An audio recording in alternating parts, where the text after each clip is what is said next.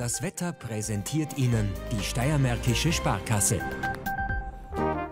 Diese Dacharbeiter haben wir heute in 1100 Meter Höhe am Sonnenberg bei Öblan gesehen. Es waren aber keine Dachdecker. Diese Männer haben letzte Vorbereitungen für eine ganz besondere Montage getroffen.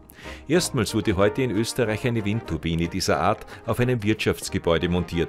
Diese Windturbine wurde in Deutschland entwickelt und wird zur Stromerzeugung in landwirtschaftlichen Betrieben bzw. Einfamilienhäusern eingesetzt. Ab einer Windgeschwindigkeit von 12 km/h wird bereits Strom produziert. Der Erfinder der Turbine ist heute höchstpersönlich nach Öbland gekommen. Wir wollten erneuerbare Energien nutzen und das möglichst geräuscharm.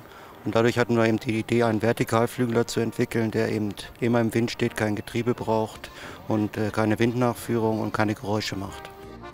Circa 13.000 Euro kostet die 1,4 kW Anlage, die von Gröbming aus nun auch österreichweit vertrieben wird.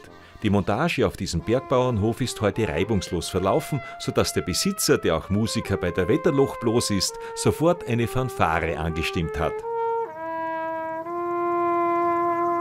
So habe ich meinen eigenen Strom. Der, der, Wind wird immer ein bisschen gehen, vielleicht ein wenig kombinieren mit Photovoltaik und Stromspeicher, das wird die Zukunft werden.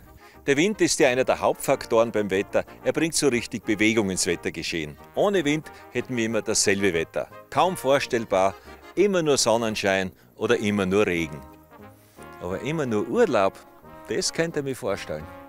Einiges an Sonnenschein gibt es morgen Vormittag vom Ausseerland bis ins Weinland. Um die Mittagszeit entstehen im Norden aber bereits erste Gewitter, später wird es auch im Süden gewittrig. In der Obersteiermark wird es warm, in der Südsteiermark heiß. Zu Mittag hat es 27 Grad in Lassing und 34 Grad in Ehrenhausen. Bis zu 35 Grad erwarten wir am Sonntag. Die heiße Luft entlädt sich am Nachmittag durch kräftige Gewitter. Ein Mix aus Sonne, Wolken und Regenschauern begleitet uns durch den Montag. Kühl und im Norden regnerisch geht es es durch den Dienstag.